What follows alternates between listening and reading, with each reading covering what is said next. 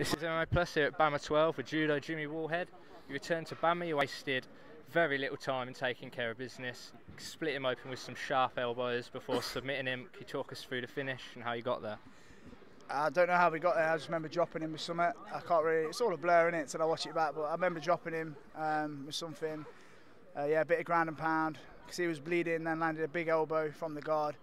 Uh, seen that open him up. Uh, gave me a nice big lump on my elbow as well. I felt that. Um, and then yeah, just he took a beating, man. You know what I mean? I was, there were some good shots I landed there. I thought this is going to get stopped or he's going to he's going to go out. Um, but no, he stayed in there, kept trying to improve his position. I didn't gas, but you know, you get your second wind. I was like, oh, yeah, slow this down in a minute before I do punch myself out. So slow it, slowed it down a little bit. Um, and then my corner said, look, you know, take the back in it. So I just took the back, finished it. So we saw you turn up today, looking focused. You spent a lot of time in the cage before before the event started. Mm-hmm. Coming out in your gi, how are you feeling coming into this fight? I feel yeah, like uh, yeah, like I was saying to everyone, I feel like um, this is the new Jimmy Wallhead and it's the start of my career. Um, I've never had everything right as far as training, nutrition. My, my mindset's never been right when I fight. I just fight on pure aggression, and that's why I get tired and make mistakes and sometimes fight shit because I fucking blow myself out in the changing room by overthinking stuff and being aggressive. And, and like I said on my last interview, I just stood at the, runway on the way out and. Uh, I was I was nervous, not bad, but like I thought this something's not right because I felt so relaxed. I had to turn to Dean Amasinger and say, "Bro, is this all right? Because I'm fucking, I like, felt like this. It was weird, man. I've never been that relaxed. Well, I have been that relaxed when I used to start fighting. In my corner tonight, my first ever corner when I started fighting was um, when I joined Roughhouse was Owen Comrie, um, Lee Livingston, and Dan Hardy. Yeah, that was my corner. And then over the years, it's changed up. And I, remember that was always the corner where I always felt happiest and most composed. Uh, obviously, Dan's not here, but now my, my coach, Owen King, I work with four times a week. He's in there. So I've got Owen King, Owen Comrie, and Lee Livingston. So I've gone back to like my original corner, and. Uh, yeah, it just felt really, really good. Felt really good. Talk about the new Jimmy Wallhead. What what things about your training perhaps did you mix up coming coming in now? This new Jimmy Wallhead.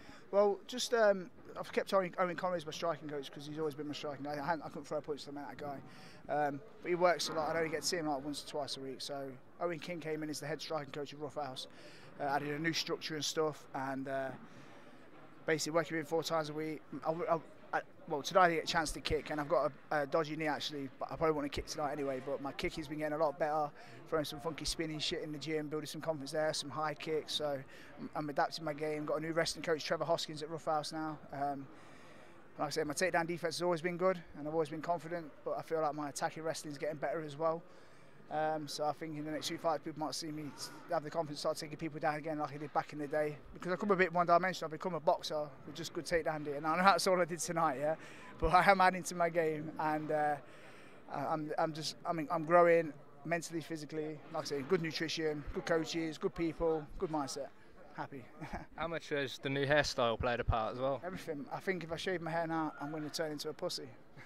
I think I, think I need to go for your look. I think if I grow my hair as long as yours, I'll fuck up GSP. Yeah, we, we, had a we had a schedule mix up. I was supposed to have a haircut. But nah, man, nah, don't do that. It's a good look. I might go for it in ginger. Samson.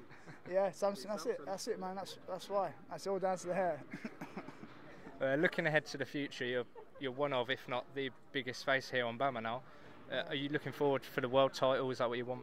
Yeah, eventually. Like I say, man, obviously that's what I want to be. That's why I'm here. That's why I signed with BAMMA. I love BAMMA you know, I've had the best free experiences of my career here at BAMMA now. Um, I love everything about it. I love the people who run it. I love the atmosphere. I love fighting from the UK fans. I love fighting on TV. Mm-hmm. You know, I, I love it.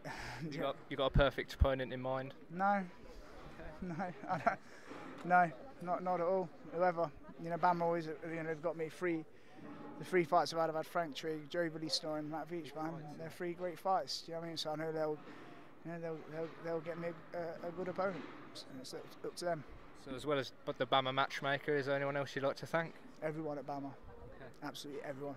Thank you so much. Congratulations once again. This is MMA Plus at BAMMA 12.